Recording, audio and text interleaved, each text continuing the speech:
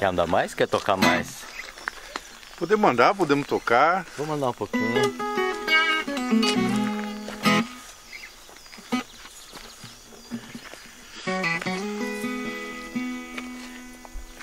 E aqui, vai embora aqui, Chico. Se andar aqui, vai. Não, aqui termina. Tá me inspirando aí essa, essa natureza aí. O artista é isso, né? O artista é você.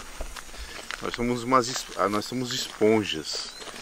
E aí a gente vai absorvendo o mundo ao nosso redor e vai transformando isso em, em música, né?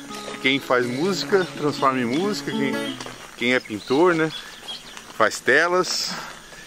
E é mais ou menos isso que a vida E quem gosta de uma câmera faz vídeo. faz vídeo, é. Não se esqueça de mim, É. não se esqueça de mim. Aí a gente começa a tocar até a cigarra que aproveitar para cantar junto.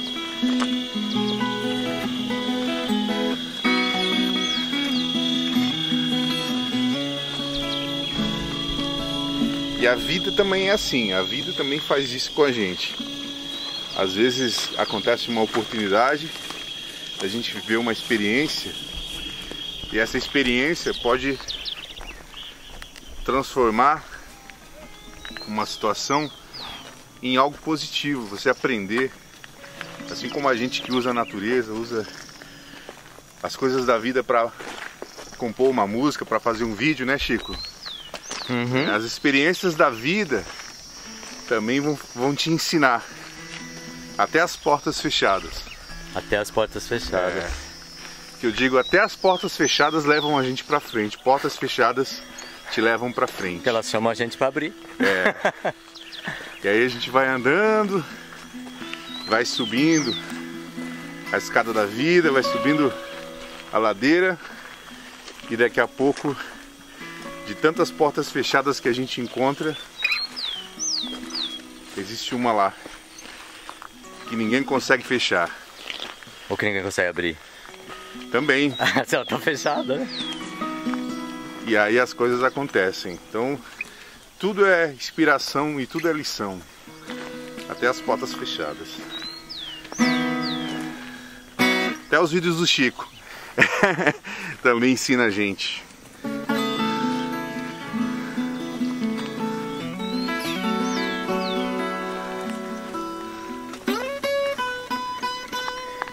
Eu acho que a gente pode entrar naquele pasto ali, ó. Que pra quem não sabe é do seu Tião Vaz.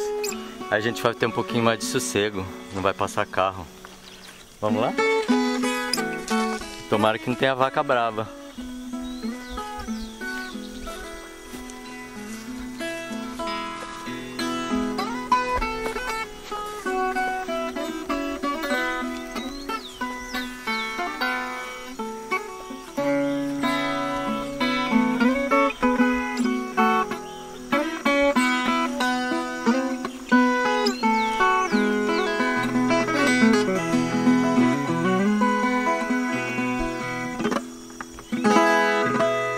Só abrir aqui, Chico? Eu não sei se, se você conseguir passar aqui por baixo, talvez seja melhor. Me dá a viola aí.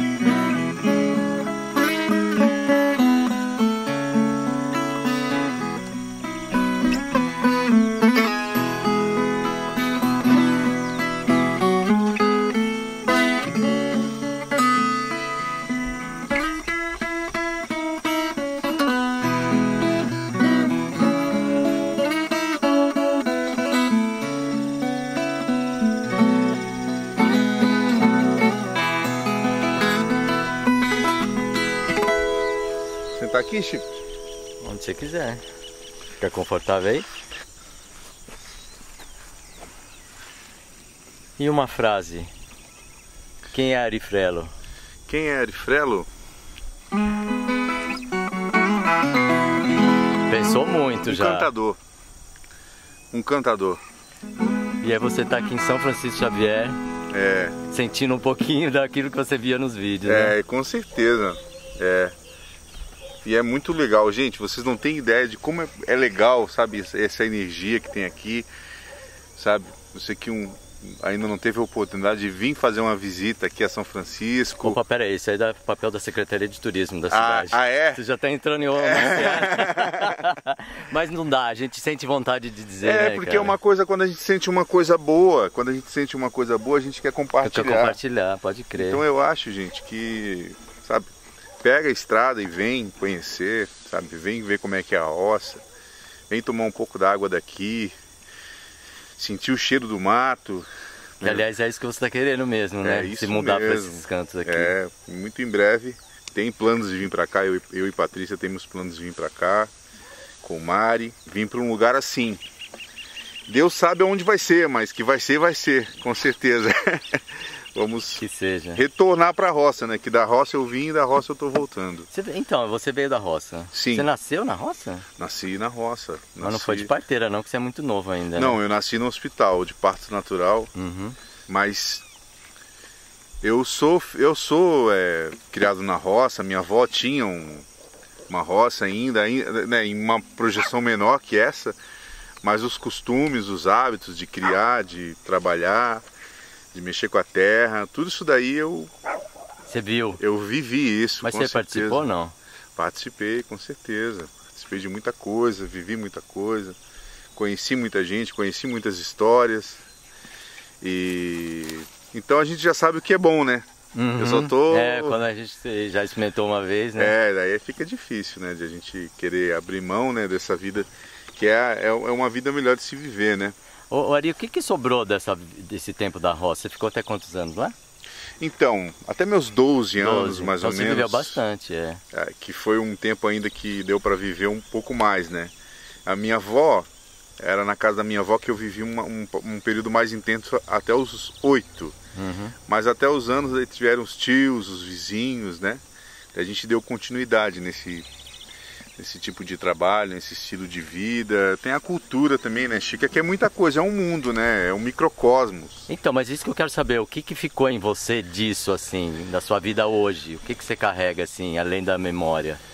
Ah, eu acho que tentar viver da uma forma, da forma mais simples possível sempre, né? Sem essa necessidade dessa correria que tem na cidade, que as pessoas às vezes correm tanto para ter, para ter alguma coisa, para adquirir, né? E perdem às vezes a saúde, que às vezes é muito mais certamente é mais valioso do que qualquer bem material, né? Então eu sempre tive isso comigo, assim. Talvez eu enveredei para música, para artes, por causa disso, assim, porque eu sempre entendi que que a vida é o agora, é o aqui e o agora. É importante às vezes você pensar no futuro, mas a gente às vezes vive para o futuro e nunca vive o presente. A gente tem que aprender a viver o agora, tem que aprender a, a ver o latido, o, respirar do cachorro aqui, ó, sabe? O barulho do caminhão ali O barulho atrás, do caminhão, a aquele cigarra. cavalinho ali em cima, a cigarra. É, as pessoas às vezes se incomodam com barulho de cigarra, com barulho, sabe? A pessoa vem da cidade, às vezes se incomoda e a vida é isso aí, ó, é barulho de cigarra, é, é o vento batendo, Pois é, porque, mas tem os passarinhos também, tem os né? passarinhos, o canto dos passarinhos. E você pega uma viola, você toca assim, os passarinhos já vêm perto, é muito doido isso, né? Já São os primeiros a isso, né? aproveitar, né? Isso aqui é, um, é, é uma das uns temas que a gente fez aí de pro canal aqui do Chico, vocês vão. Agora vocês vão saber que sou eu.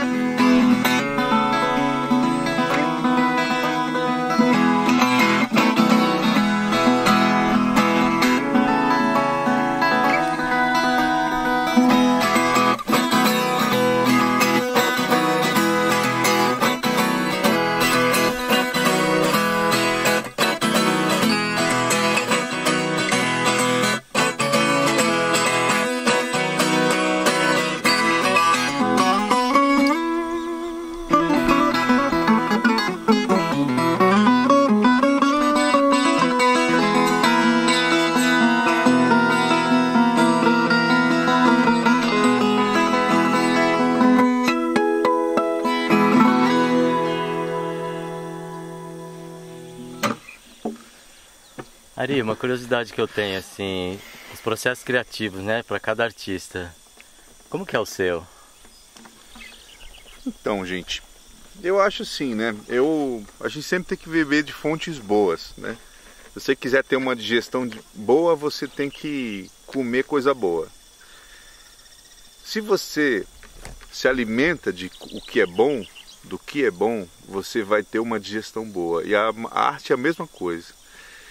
Então, às vezes eu posso tocar um tema aqui que não tem nada a ver com uma música raiz, mas teve uma origem misturada com tudo que eu vivi, tudo que eu conheço. Eu também toco blues, né?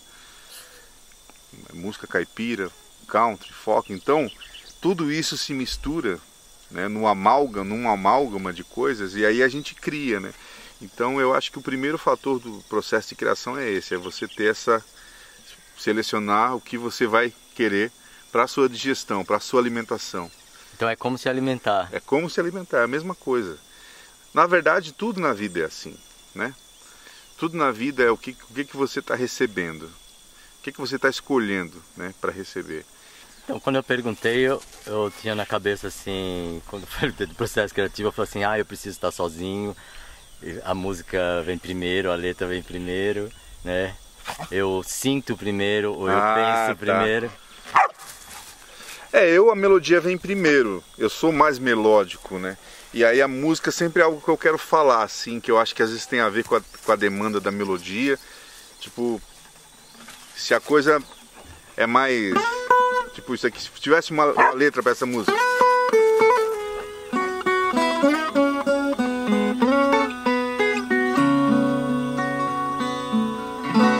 Tipo, isso aqui é uma coisa que tá falando de repente de uma moça que, ele, que, o, que o cara deixou para trás, um amor que ele não conseguiu viver, ou uma saudade que ele tem da roça. É né? isso que você sente. É isso que eu sinto. Ou uma, um dia que você acordou e você tá feliz, sabe?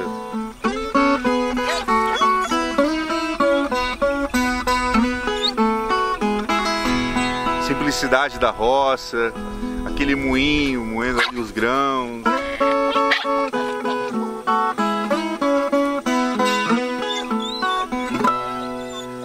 Acho que é mais ou menos isso, assim, né? É, mas a melodia sempre vem primeiro, eu sempre penso numa melodia. E, e, aí a letra vem mediante a demanda. Às vezes tem coisas que eu preciso falar, tipo as minhas músicas autorais, às vezes eu preciso falar de algumas coisas, né?